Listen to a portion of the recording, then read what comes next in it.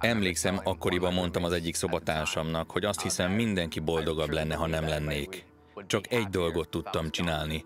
Bámultam lefelé a párkányról, és azt mondogattam, hogy ma este megteszem. Ennyi. Azon az estén Chase Lane élete örökre megváltozott.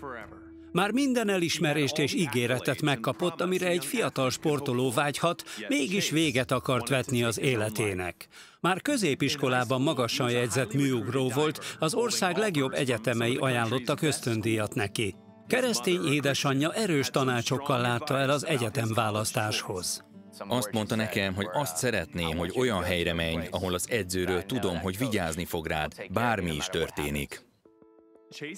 Chase a Kentucky Egyetem ösztöndíját választotta, és a legnagyobb izgalommal várta a folytatást. Alig vártam, hogy ott legyek. Az elejétől kezdve rá voltam pörögve. Ennek ellenére a lelkesedése nem tartott sokáig. A diák sportoló élettel járó felelősségek és terhek hamar ránehezettek. Egyszerűen túl voltam terhelve az egyetemen. Az úszó és műugró edzések, tele volt az órarendem, korán reggel keltem, este tíz után értem haza, és akkor álltam neki ugye még a házi feladatoknak, aztán lezuhanyoztam, próbáltam enni valamit, egyszerűen túlhajtottam magam. Stressz, stressz hátám. Keresztény edzője Ted Hatau észrevette, hogy az első éves rád szenved. Láttam valamit rajta. Láttam a járásán, a viselkedésén. Elkezdett görnyedni, komor volt, csoszogott, kicsit sántított is. Valami történt. Mondta is nekem, hogy most sötét időszakát éli. Elvesztem, és ahogy nőtt a szorongás, nagyon-nagyon depressziós lettem. Ez az akkori csapattársaknak, haveroknak, edzőknek, mentoroknak is feltűnt, hogy valami nem stimmel. A depresszió ellenére Chase továbbra is sikeres műugró volt.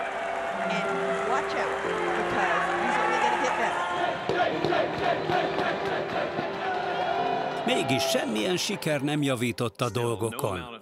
2018 márciusában az országos úszó és műugró bajnokságon Chase eldöntötte, hogy véget vet a szenvedéseinek. Egy dolog járt a fejemben. Bámultam lefelé a párkányról, és azt mondogattam, ma este megteszem.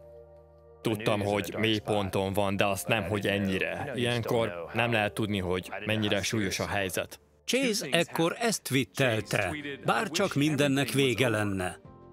Majd felhívta édesanyját, hogy elbúcsúzzon tőle.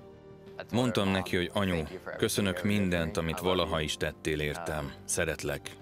De úgy érzem, hogy nincs értelme az életemnek. Nem tudom ezt tovább csinálni. Az élet túlságosan frusztráló. Nincs értelme annak, hogy ezen a földön legyek, ha nincs célja az életemnek. Édesanyja felhívta Chase edzőjét, Tedet.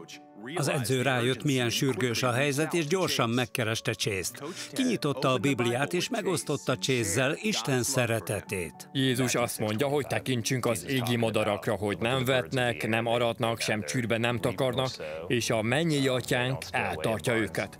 Mondtam is neki, tudod, ha Isten ennyire törődik az égi madarakkal, hogy ne törődne veled még jobban?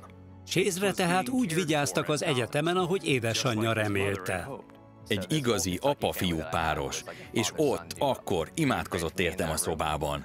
Egész éjszaka fent voltam. Abban a pillanatban ő imában harcolt értem. Térdre borultam, és szívből megvallottam, hogy Jézus az Úr, és kapcsolatba akarok kerülni vele. Elkötelezte magát Isten igéjének olvasására, és csatlakozott egy kisebb csoporthoz. A Bibliát olvasva hamar rádöbbentem arra, hogy a Krisztussal való kapcsolat hiányzott nekem, és reményt találtam benne, ahogy mindenki találhat. Mert értünk halt meg azon a kereszten. Rádöbbentem Isten hiányára. Ő kell nekem. Ma műugróedző és gyógytornász. Az a vágya, hogy segítsen azoknak, akik szorongással és depresszióval küzdenek, azáltal, hogy megosztja velük a jó hírt, amit a Jézus Krisztussal való kapcsolatban talált meg. Jézus a remény. Ez ennyire egyszerű. Ő értünk halt meg a kereszten, és nincs olyan szenvedés, amin átmegyünk, amin én, te vagy bárki valaha is átment, ami nagyobb lenne annál, amit ő elszenvedett azon a kereszten. Ugyanakkor nagyobb győzelem sincs. Nem hiszem, hogy a szorongás vagy a depresszió bárki életének része kellene, hogy legyen. Mi nem a félelem szellemét kaptuk, hanem a békesség szellemét. És ha egyszer valaki megtalálja ezt a békességet, akkor jöhet bármilyen frusztráció vagy probléma, akkor is belül békessége van, mert Jézusban békesség van.